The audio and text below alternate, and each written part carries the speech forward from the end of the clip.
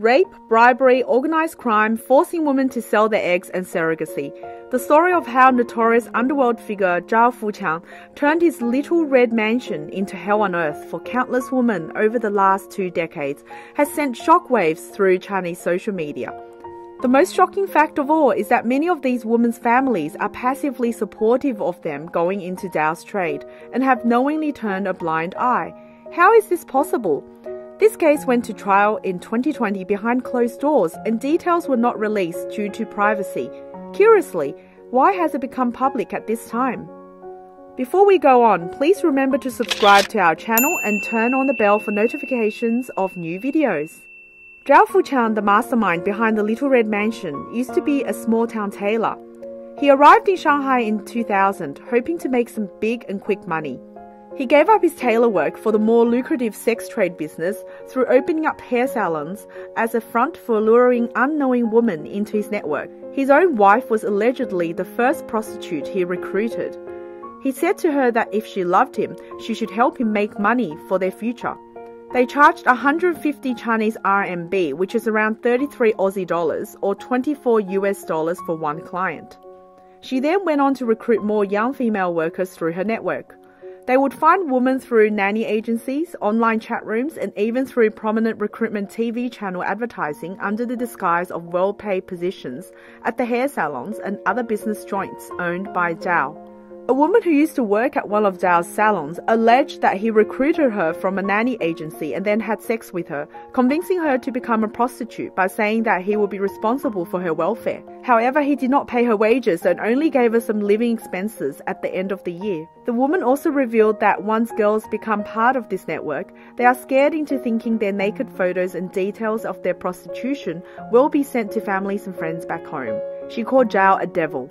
In 2004, Zhao started a commercial subletting business where he tricked unknowing landlords into signing contracts with hidden clauses, and through blackmail and extortion, he would then sublease the stores out again for more profit. In a time frame of nearly two decades, it is alleged that Zhao made around 1 billion RMB, which is 156 million US dollars or 217 million Australian dollars. His network of sex and corruption consisted of very high profile Chinese government officials who also acted as his judicial protectors.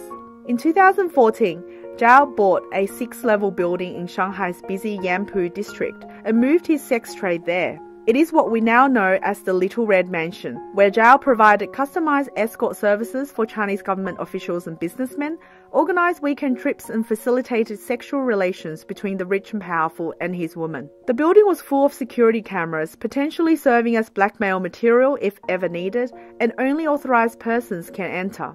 Many residents living in the neighborhood had no idea such sordid dealings were happening behind the building's closed doors, even though the street on which the Little Red Mansion was located was a well known red light district. The first time Zhao's case was reported to the police was when Chen Qian, a graduate from the US, applied for a high paying job at one of his restaurants. Little did she know that her work location would be at the Red Mansion. She was then raped and lured into becoming his girlfriend, and then used as a sex slave to serve public servants and government officials. She managed to escape the high security building during a trip to the bank in 2017 and reported her situation to the police. However, the police did not investigate further when Zhao brought in Chen's mother to convince the authorities that it was a domestic dispute. It was later alleged Chen was beaten for her attempt at escaping. Horrifically, she was also forced to make money for Zhao by undergoing egg extractions to sell to fertility clinics. Unfortunately for Chen, the excessive number of egg extractions she underwent resulted in fluid buildup in her abdomen, and she eventually became infertile.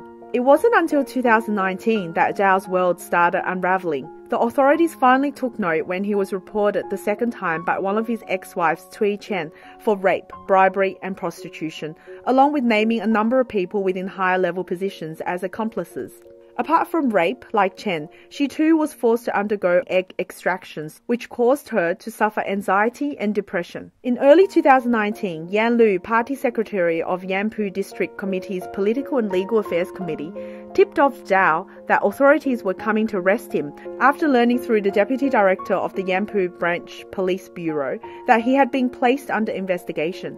Zhao tried to escape with three women in his car but was later arrested. The Shanghai Little Red Mansion is not an isolated case. There have been other similar cases in the past, but none as sordid as the details in this case. One thing which baffled and angered the Chinese society was how Zhao managed to get away with such unbelievable acts of extortion and sex trafficking for over 20 years in a busy neighborhood and under the watchful eye of government officers located merely 300 meters away. There are two reasons for this. First reason, this mansion is not only the workplace of these women, but also their entire world. Many of their relatives are involved, and families lived and worked in the building. Those who have been impregnated had their babies born and grow up there. Many of these women have husbands who worked as security guards for Zhao. The women themselves assisted Zhao with running his illegal network as PR and recruiters. This included all of his six ex wives. So therefore, there was hardly anyone within Zhao's organization who wanted to take the risk of reporting Zhao to the police. In the early 1990s, this situation in Shanghai is not new. At that time, money was above everything and at the expense of human dignity. It was an open secret that local wives or daughters would willingly go into prostitution with foreign businessmen to earn easy money. Some would sell themselves for two to three year terms as mistresses for wealthy Taiwanese businessmen. Contract negotiations with foreign businessmen often involved escorts and personal services. These are the unspoken rules for any female involved in sales. As Shanghai became richer, locals gave way to outsiders in the prostitution industry. This also provided unlimited supply for Zhao's networks. Second reason, and this is the most critical, apart from the support of husbands and mothers of these women, Zhao was able to continue for so long through a protective political umbrella many of whom are his clients. Shanghai's Little Red Mansion had been protected by a huge political force for the past 20 years. The only reason this case made it to the courts is due to Xi Jinping's politically driven anti corruption drive to target factional opponents within the Communist Party. Many officials involved in protecting Zhao were undergoing investigations themselves. Now, something else worth looking at is why details of this case have been released to the public at this particular time, although many articles have been taken down since, but not before causing massive social discourse and outrage in Chinese society. The verdict for this case was completed at the end of 2020, with Zhao given a suspended death penalty and 13 government officials sentenced. Most of these officials are at a divisional level, which is not a very high level. There is speculation that the case has come to light 12 months later due to darker political reasons. In China, nothing can be disassociated from politics. Analysts say that it is likely a much higher network of key Communist Party leaders are implicated in the case, possibly at the current Politburo Standing Committee member level and CPC Shanghai Municipal Committee level, including vice mayors, deputy secretary generals, and so on. In China, every jaw dropping case that sways public sentiment serves a political purpose, such as the cases involving corruption and sexual harassment in the entertainment sector not long ago. Each case was targeting the political influence network behind the so called perpetrators.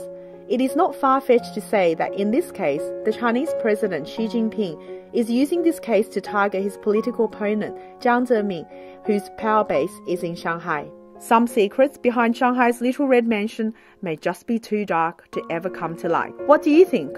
Leave your comments below. Don't forget to like and subscribe to our channel.